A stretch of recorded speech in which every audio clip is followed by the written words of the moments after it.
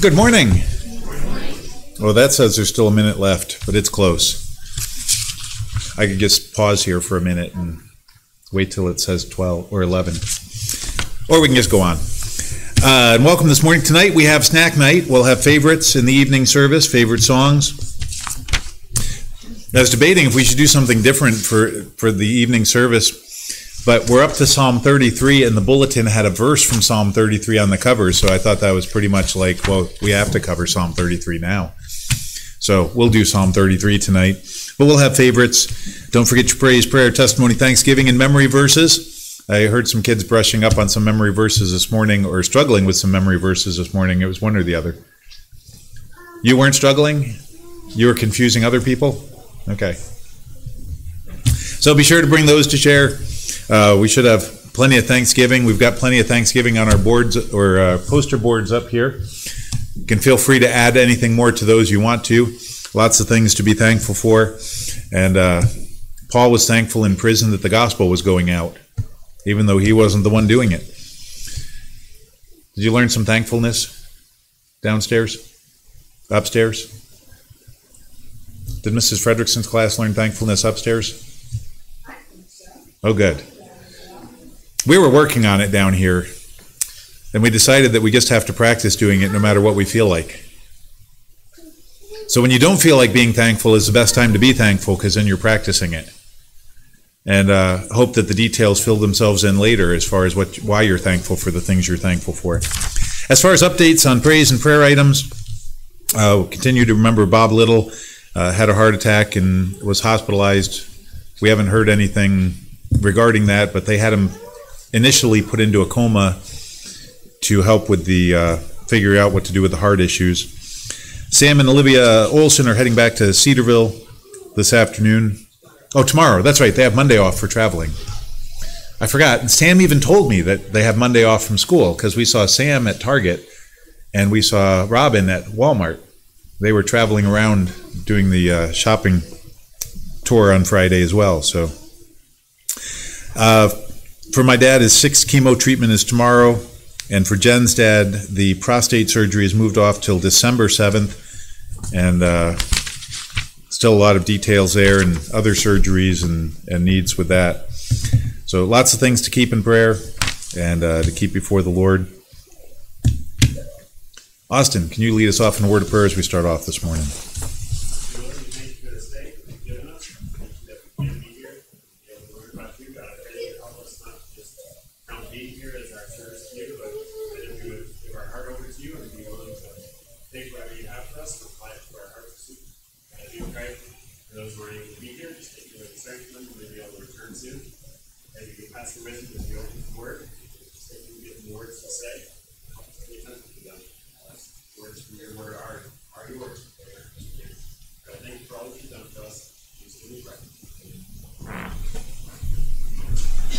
Take our hymnals 234. Crown him with many crowns. When you finally stand together. 234.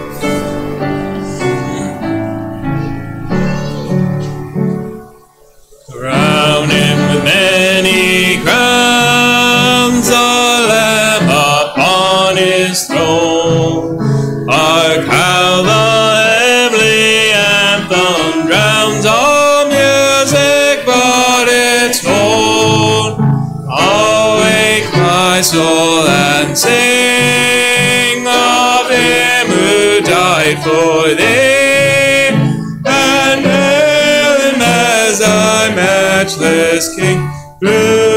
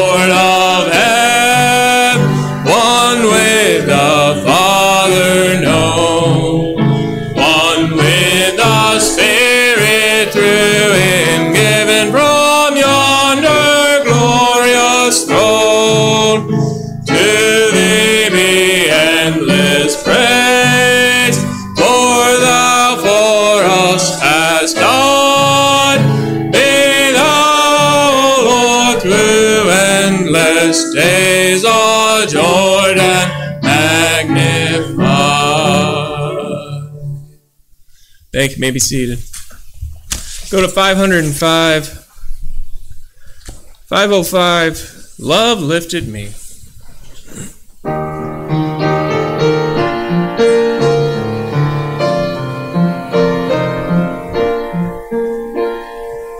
I was sinking deep in sin, far from the peaceful shore.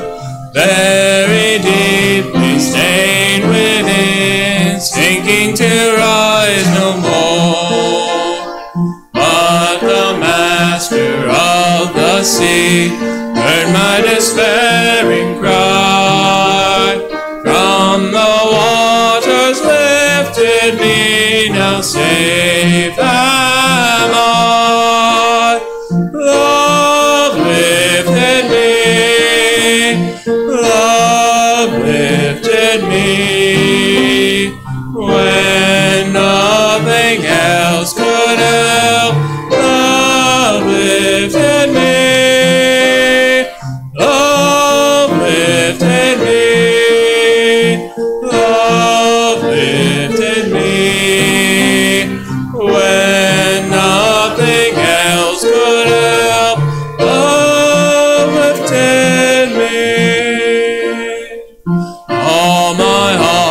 him I give, ever to him I cling.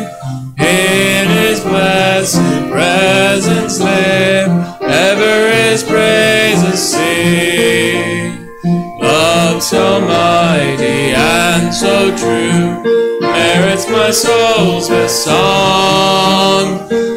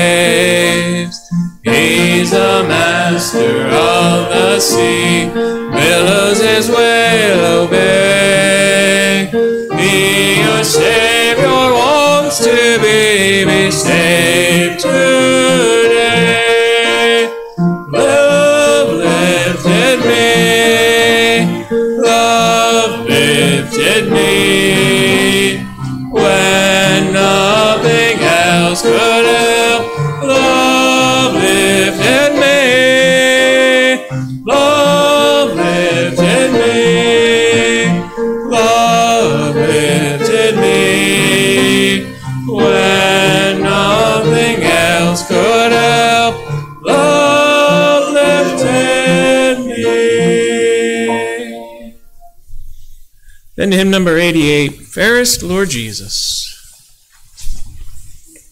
Number 88.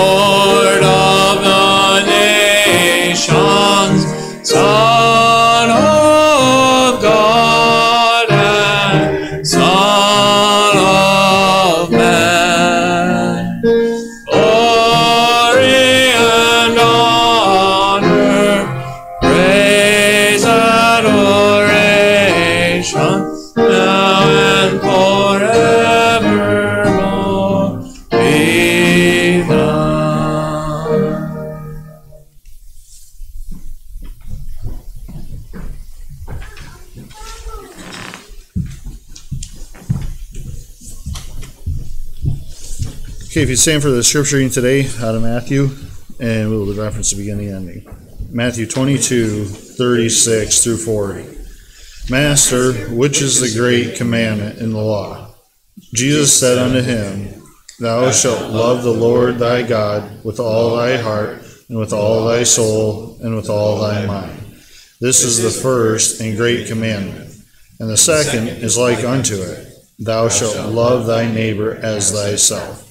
On these two commandments hang all the law and the prophets. Matthew 22, 36 through 40. Thank you, Ms.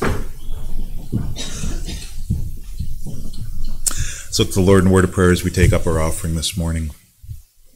Again, Father, we're grateful for you. We're grateful for your goodness to us. We're grateful that the hope we have in you.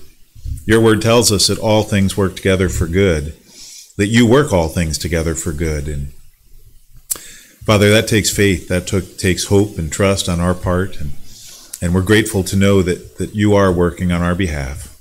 We pray, Father, as we give back to you a portion of what you've blessed us with this week, that you would continue to meet our needs, that you would be pleased with our, our gifts as we give them. And we'll thank and we'll praise you in Jesus' name. Amen.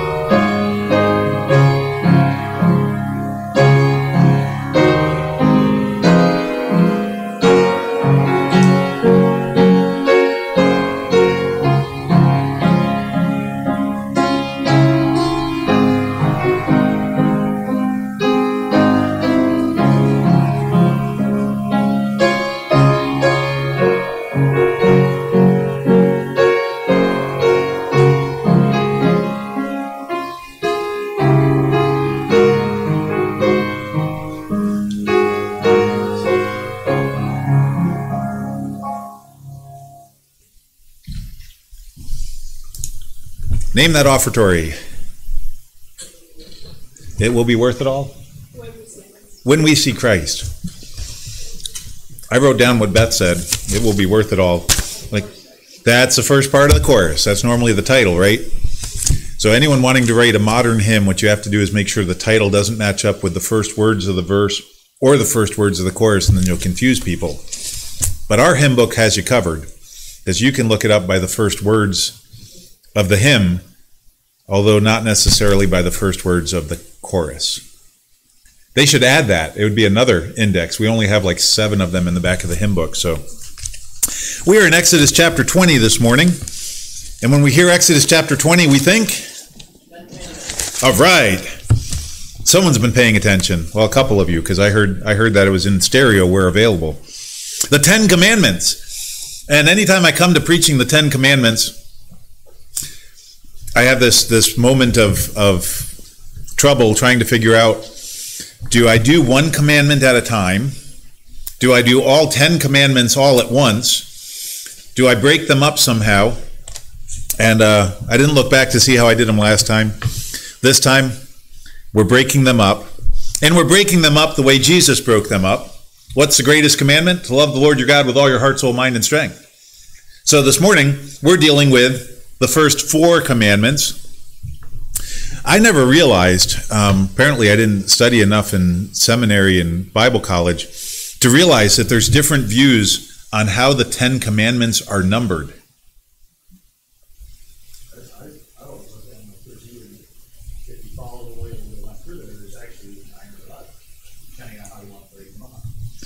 But there's 10. It's the Decalogue, the 10 words of God.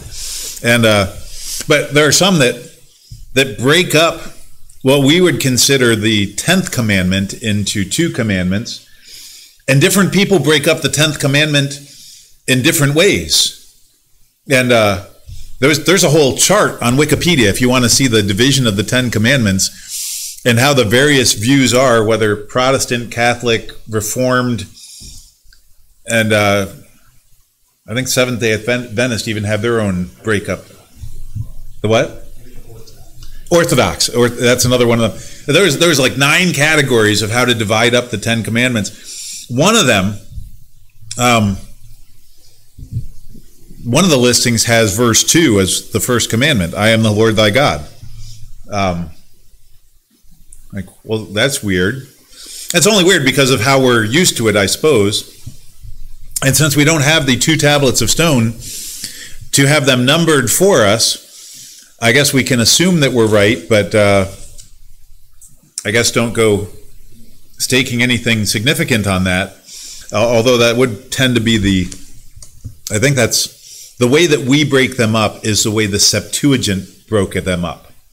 The Greek translation of the Old Testament broke it up the way that we are commonly familiar with it. So, as we are commonly familiar with it, we are covering the first four commandments this morning other ways of viewing it, we could be viewing five commandments. I think that's the only other way to view the first four that we have as five. And our title this morning, Keep God First. As looking at the first four commandments, how do we sum them up? For a title, I just summed it up differently than Jesus did, not because I think I'm better than Jesus. I'm certainly not, but because I think there's a help to viewing things with a different wording sometimes. And so the title could have been love God with all your heart, soul, mind, and strength. But that wouldn't have fit in the bulletin nicely on one line. Um, it could just be love God. But sometimes when we think of love God, we get that warm, fuzzy feeling, and we have warm feelings towards God, therefore we're doing it. So I wanted to re- excuse me, rephrase it a little bit. Keep God first. Now, many places in the New Testament, we read that we are not under the law. And so when we come to the Ten Commandments, we have interesting thoughts and views, and what do we do about it? Uh, we read in the New Testament that Christ, in his death on the cross, has freed us from bondage to the law. That we are not responsible to keep the law.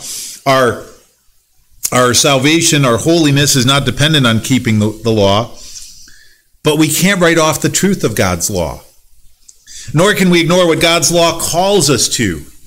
In fact, as we look at the Ten Commandments, all of them but one are repeated in the New Testament. You know which one isn't repeated in the New Testament?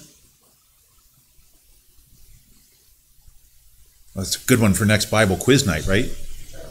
Remember the Sabbath. Not repeated in the New Testament. Oh, good. We can we can cross off number four, and we don't have to do that one then, right? Except that the principle of remembering the Sabbath is based in God's creative order that He created in six days and took the seventh day off. Uh, it's it's not new revelation when it comes in Exodus chapter 20. So anyway, we have the commandments mostly repeated in the New Testament. The one that we don't have repeated is based in the fact that God created in six days and rested the seventh. He hallowed, made holy, set apart the seventh day, which Seventh day Adventists today will say, well, that's why you need to keep the Sabbath. Well, the principle is work six days, take the seventh day of rest, and hallow it. And in the early church, they worshiped on Sunday, and that got kind of carried forward. Martin Luther had some interesting things to say about that when it comes to remembering the Sabbath. He said, We need to remember the Sabbath, but we shouldn't like set the whole world on end. We've been worshiping on Sunday for, at that point, close to 1500 years. So why would he upend things and change the day?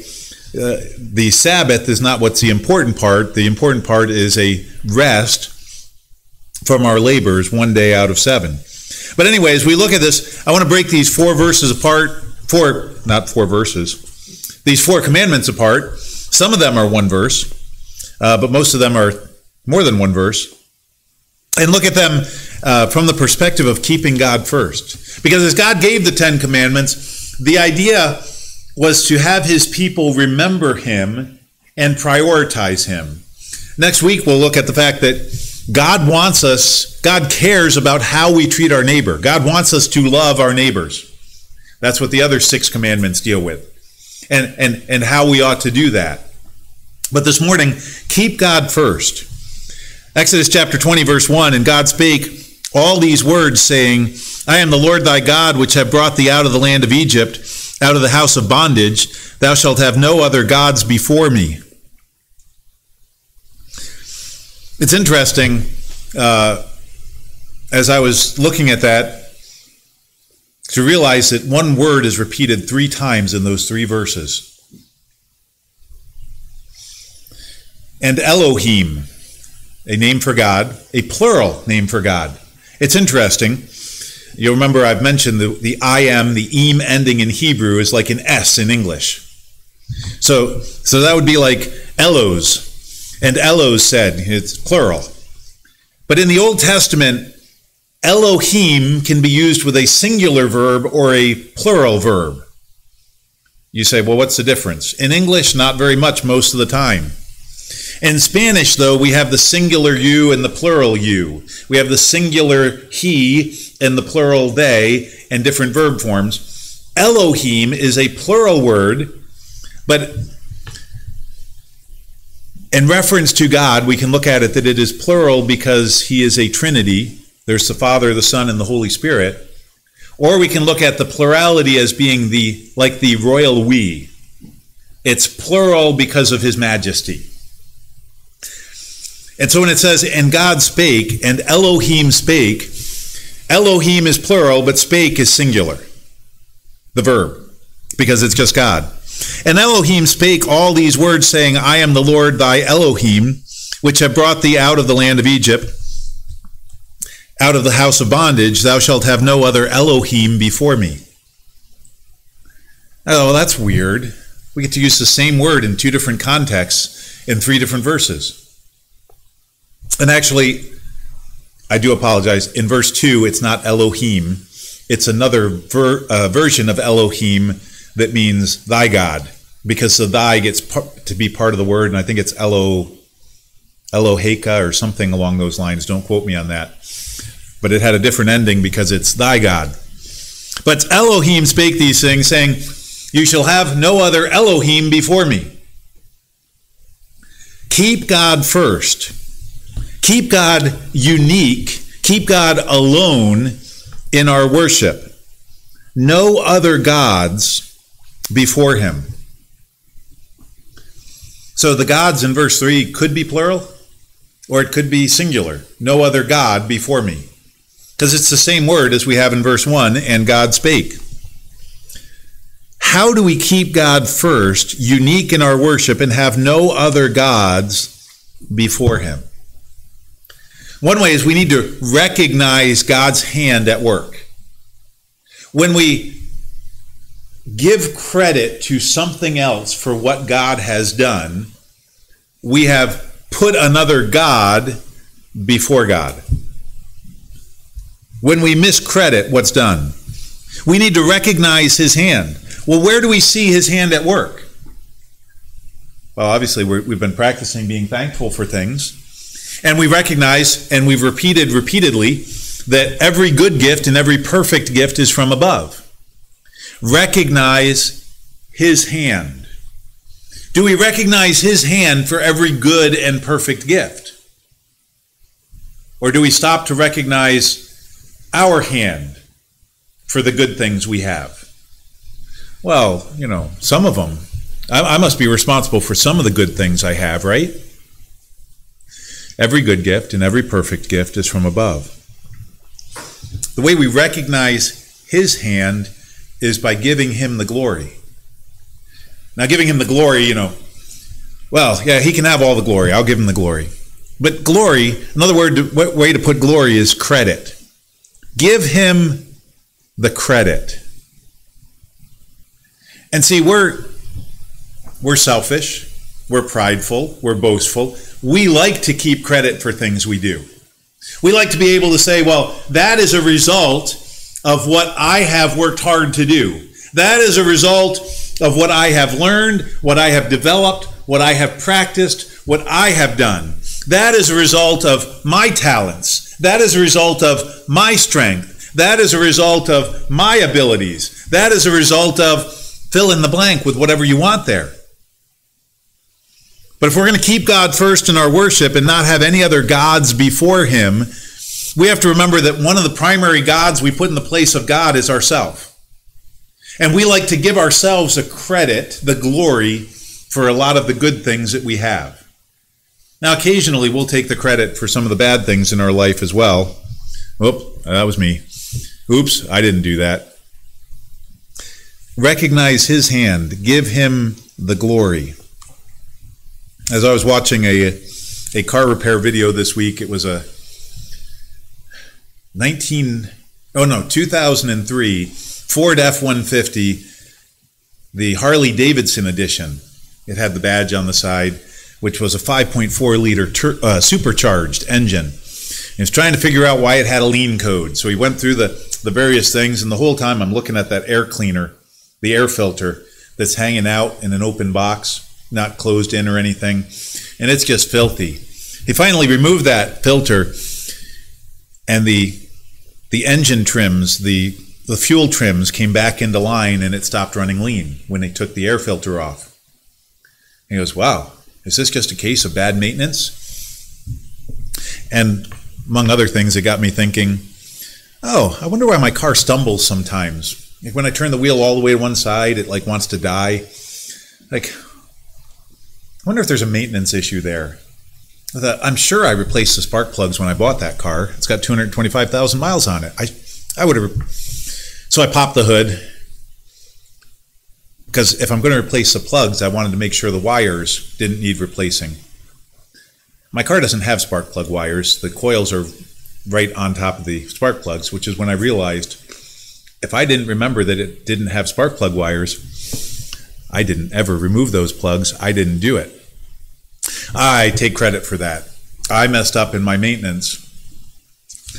But then sometimes I like to look and say, boy, this car is running well. The air conditioner works now. This works. It's so smooth. It's because of what I've. Uh, we like to take the credit for things. Every good gift and every perfect gift is from God. Give Him the glory. Praise Him. Thank Him. And, and you know, we need to make sure we're not doing it like the, the publican. God, I thank you that I am not like this vile, wretched sinner. Recognize his hand, give him the glory.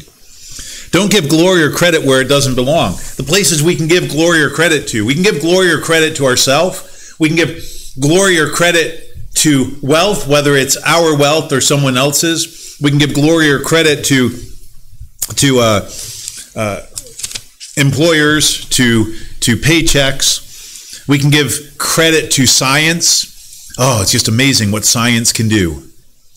Um, when we realize science is the study of what God has given us and how it all works together, even science is, is a gift of God.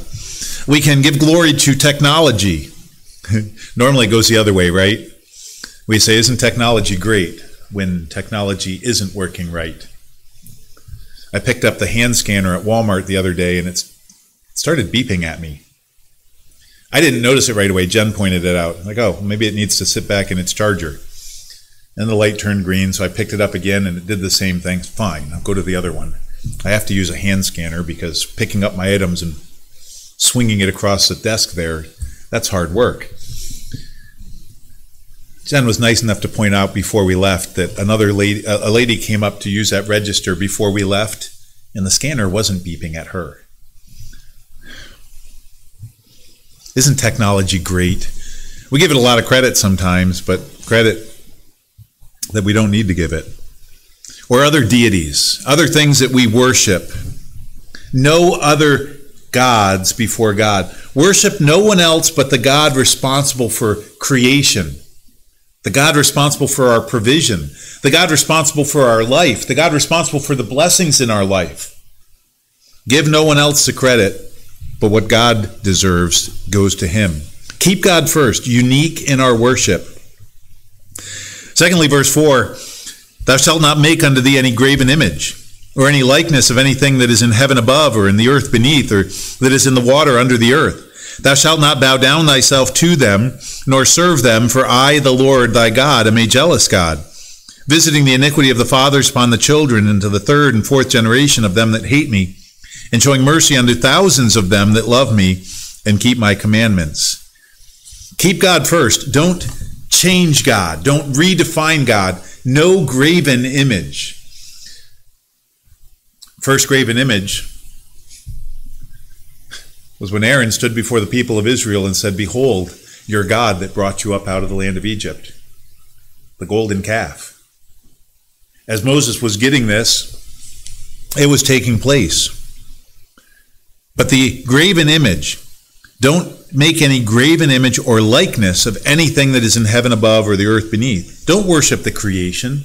Don't worship idols. Don't fashion your own God. Don't try to define God your way. You ever hear people trying to define God their own way? Well, God is love. And therefore, I'm going to define God based on what I think love is. Well, that's amazing. Um, when we try to define God based on what we think love is, or how we think love should be shown, we're trying to redefine love and therefore redefine God. Well, the God of the Bible, the God I worship, would never do that because he's a God of love. Well, love is not a one faceted characteristic, it's a multifaceted characteristic. Whom the Lord loveth, he chasteneth. It is the loving thing to do to train, it is the loving thing to do to correct, it's the loving thing to do to let us fall on our faces sometimes when we're trying to do it on our own.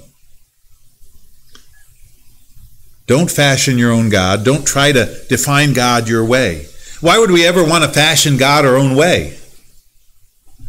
Sometimes we do it because we want to make God easier to understand. The illustrations, you know, well, the Trinity is like an egg. There's a shell, there's a white, and there's a yolk. Like, well, yeah, but there's also a membrane that holds the white in.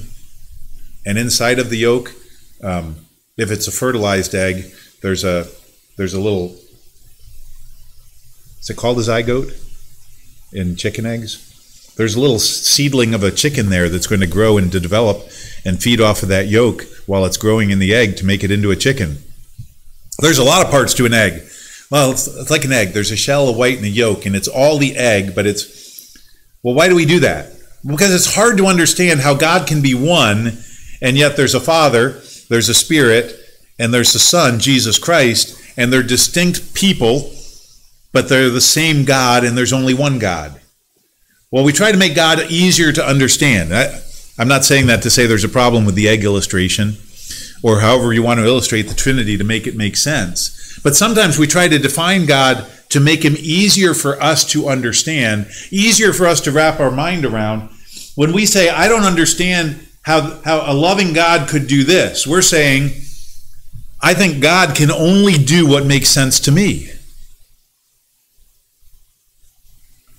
And we dealt with that in Sunday school a little bit in our class of imagine if you got rid of everything in the world you didn't understand. Imagine if you tried to define everything in terms you could understand. Your car would probably look more like a bicycle. Because we can understand how angular force on a pedal creates rotational force, which drives linear force on a chain to drive rotational force on that back sprocket to drive the wheel down. The, we can understand that, unless you got one of those fancy three speeds that have all that hidden transmissiony stuff inside of the hub. That's magic. I don't. Do you know how that works? Do you know how that works? Daniel does three speeds, the little chain and stuff inside the sprocket. I've never peeled back the, the onion to see. Ben understands it. He'll explain it later for all of us. It's magic. It's what I don't understand. But if we limited to what we could understand, our world would look a whole lot different than it does. And we try to redefine God to make him more understandable. Or maybe to make God more palatable. When it says God's wrath was poured out, oh, well, I don't know that. Because wrath isn't a good thing. Now, unholy wrath isn't a good thing. Selfish wrath isn't a good thing. Prideful wrath isn't a good thing. But none of those things impact God's wrath. God's wrath is holy, just, and good. And so when we try to say, well, God can't have wrath because wrath is bad, we're trying to make God like us. God's wrath is holy wrath, it's good. Well, how can wrath be good? Well, God is good. Everything He is is good. Sometimes we redefine God because we want to replace God. Because if we can replace God, then we can ignore some of the things that He has said. Well, I, I don't really like that, so I'm going to make my own God up. And you can find those all over the internet. Lots of people have made up who they, well, I wasn't really happy with the Christian God. I wasn't really happy with the God of the Bible, so I've made up this God, and this is what I believe in. Like, really? That's like sitting down to a table like they did in in in uh, an old movie called Hook. They sat down at an empty table and they started pretending they were feasting on food. They just all dreamt up in their mind. Well, that's a wonderful thing to do, and you can enjoy that to a degree. But when you're done, your stomach's still empty, and you don't have any nourishment. And when you create your own God, yes, you can you can design him however you want to, but when you're left, you're left with nothing because that God doesn't exist. Keep God first. Don't change or redefine him. Why? Because God is jealous. I, the Lord thy God, am a jealous God, visiting the iniquity of the fathers upon the children to the third and fourth generation to them that hate me. I saw this week a list of 21 reasons why you should raise your children without religion. And most of the reasons don't actually apply. It's because they need to develop morality apart from fear.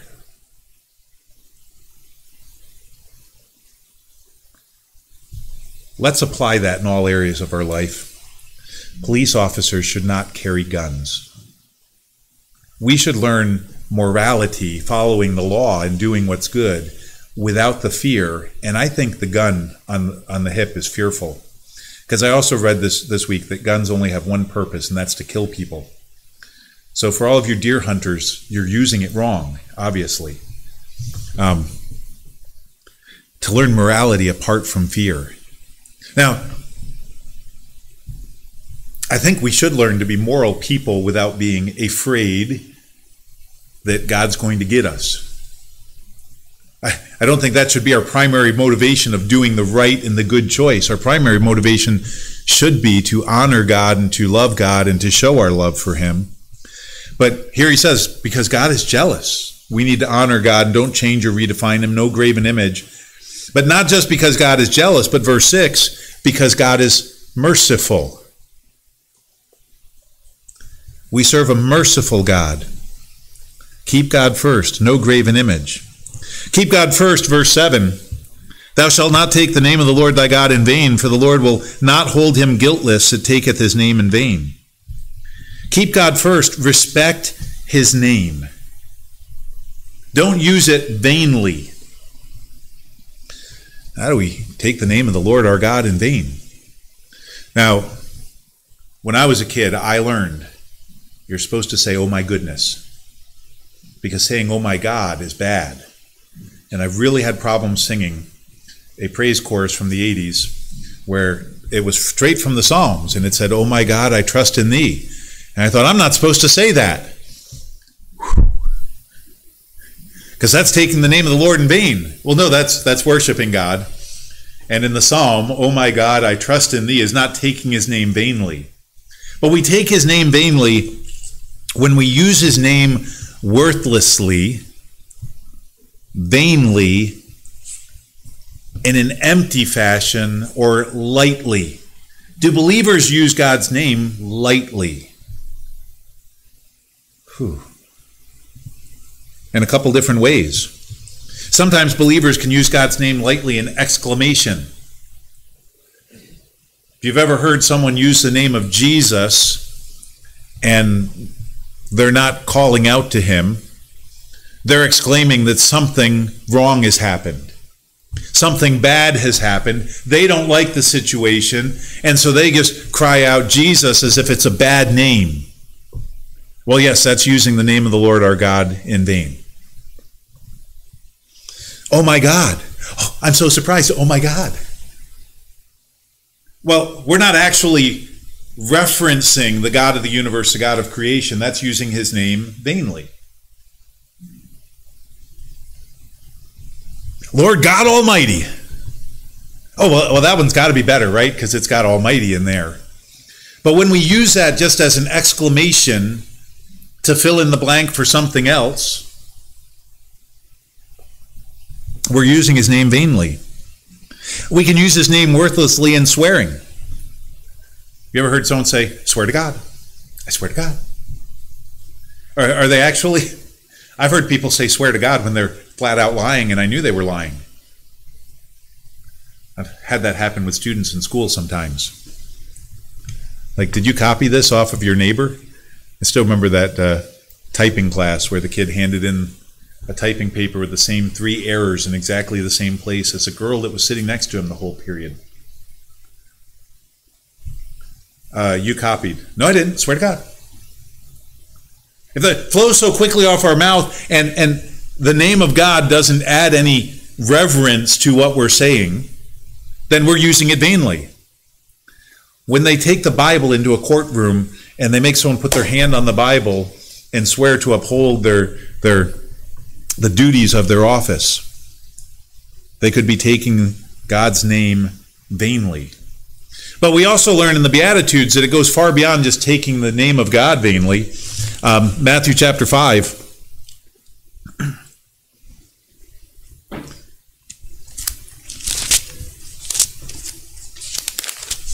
The uh, prohibition gets a, a, bit bigger for taking things vainly.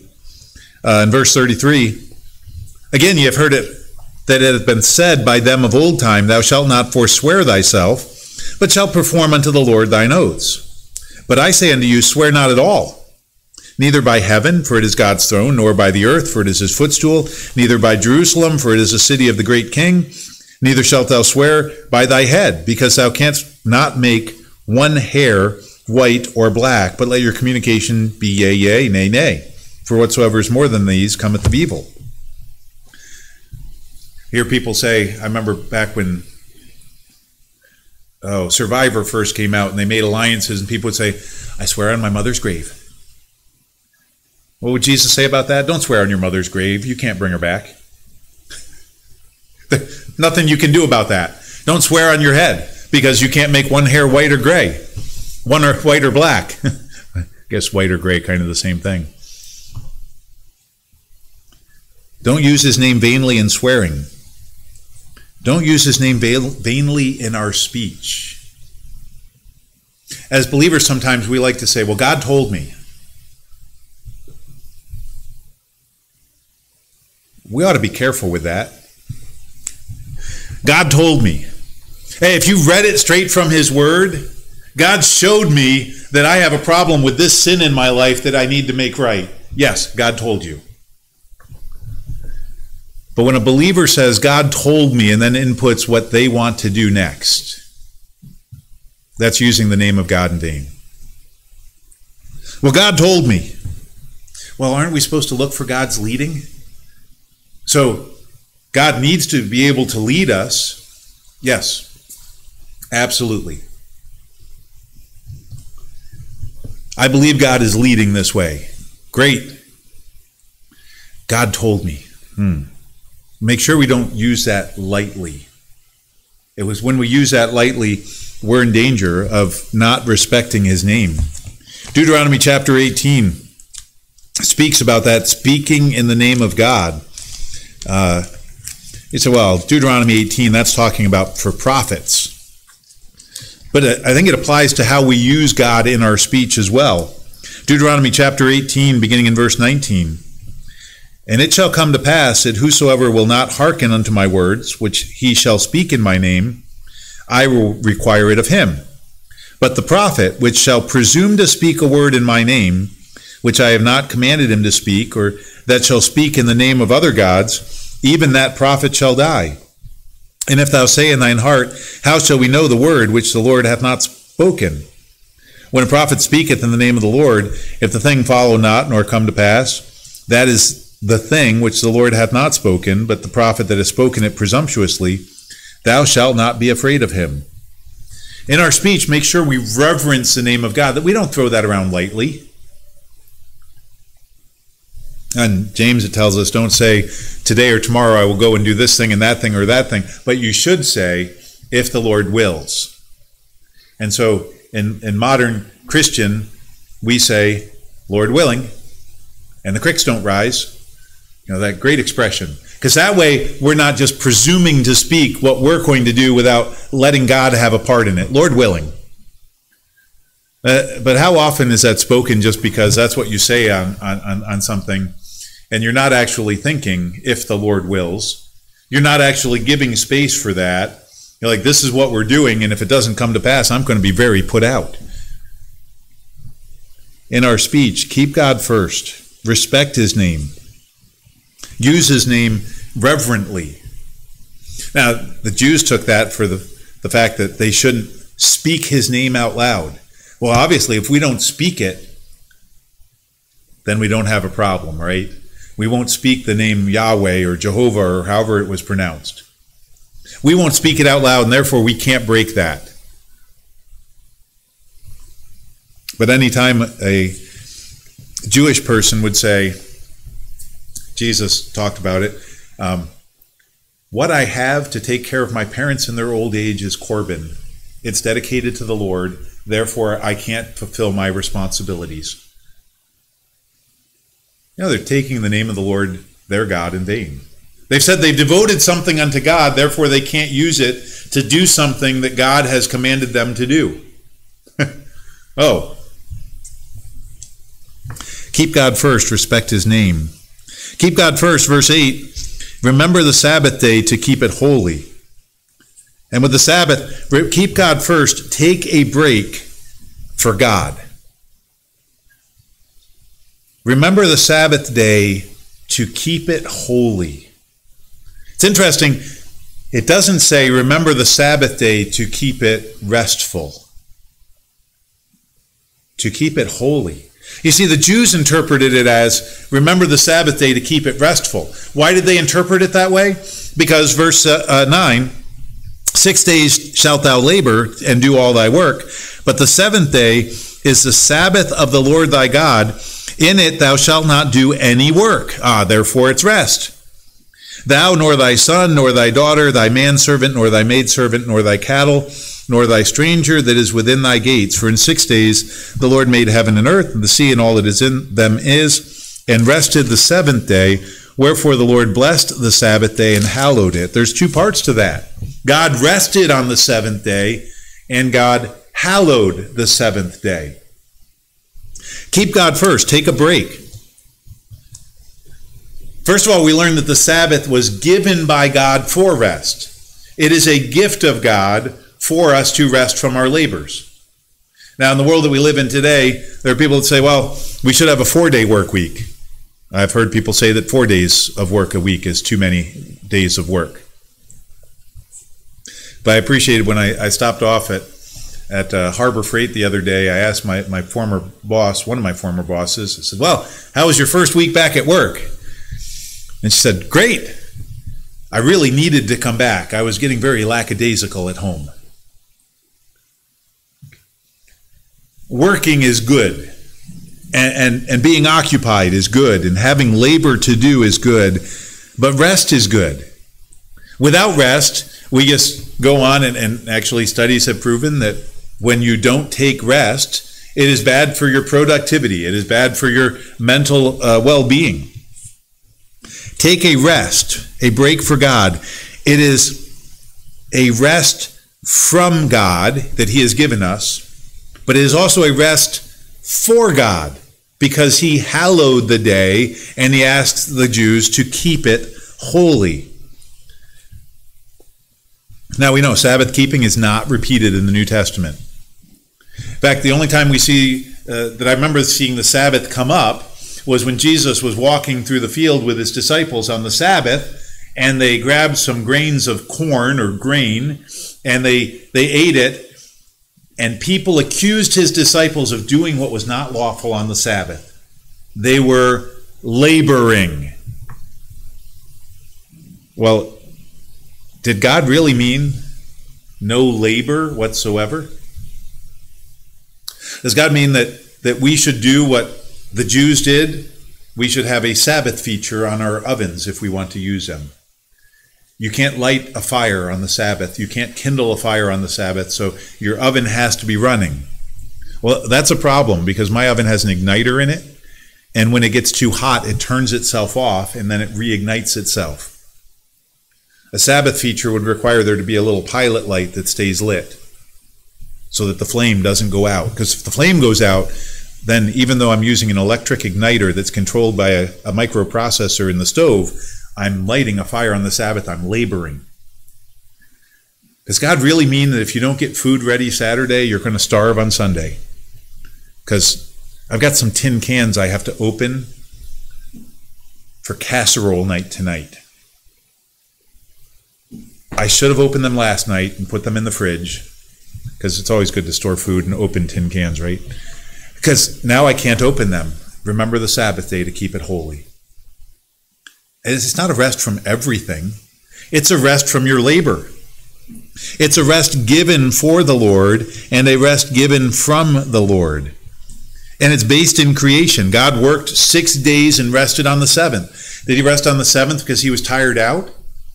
Did, it, did he take six days because all of the work he did in creation took him six full days? And, and boy, I, I wish he would have worked in five days and then taken two days off.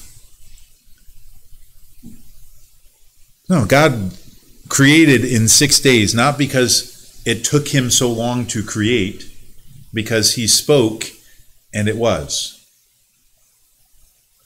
And he took six days as an example to us, so labor six days, and he rested on the seventh, not because he was tired, not because his brain requires him to rest. Kind of, when God is a spirit, kind of hard to say his brain, but the portion of God that thinks, did it, was it all worn out? No. So, what do we do with the Sabbath? What do we do with a day's rest? We protect it, we guard it. Now, does that mean we never do anything that's labor related on, on the Sabbath or Sunday as, as, as, as believers we, we keep or we reference or we treat that as our day of rest. We never do anything that's labor on the Sabbath. No, Jesus pointed out if your neighbor's animal falls in a pit, you get it out on the Sabbath. Why? That's not labor. That's compassion. That's mercy. That's a good thing to do. If your family is hungry on Sunday, cook food. You're not violating any law, but protect it. Don't let it get crowded out by everything else in life. Don't let it get crowded out by things that don't have any value. It's a rest that's given by God. Oh, well, then I, I need to go do restful things. You ever notice that when you go to do restful things, it often ends up less restful than, than, than just stopping? Protect it, use it as God intended. How did God intend it? As a rest from our labors. Why? Keep it holy. It's a holy day.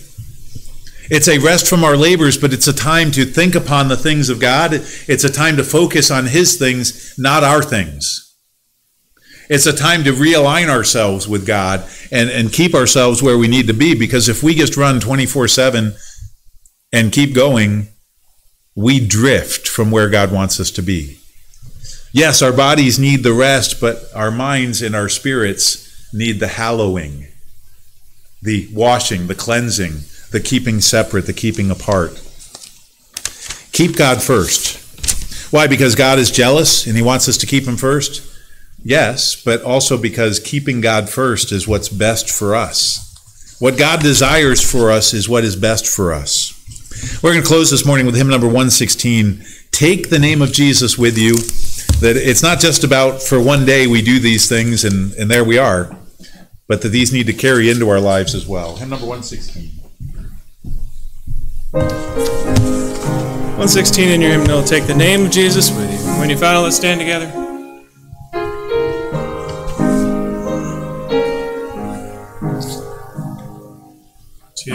Take the name of Jesus with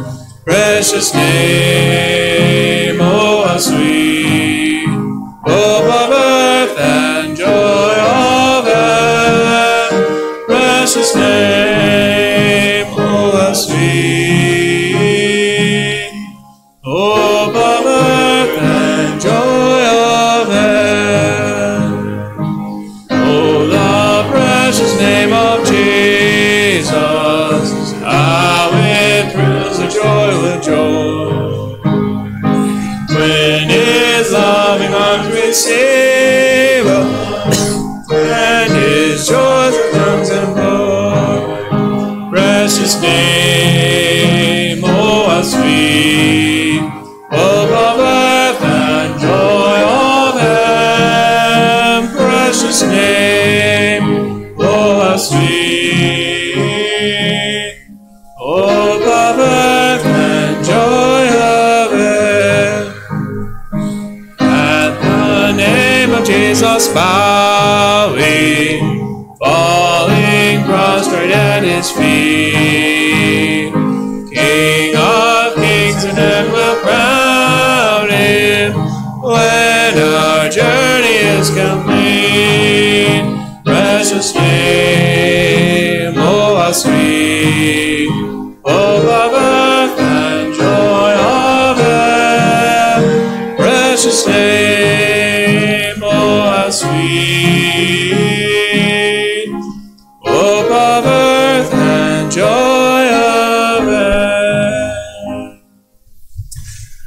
Father, we are thankful for your word and uh, the reminder this morning to keep you first.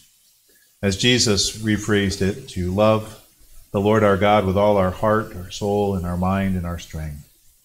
We pray that we would keep you first in, in our worship and worship you alone and, and not try to redefine you or make you something that you aren't.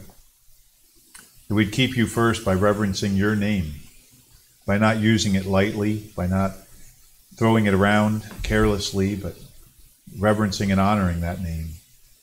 And that we'd keep you first by taking and using the rest that you've given to, to hallow it, to think upon your things, and to honor you in a way that you have, have told us to. And Father, we pray that we would keep you first this week, that we would love you with all of our heart, soul, mind, and strength. And we'll thank you in Jesus' name. Amen.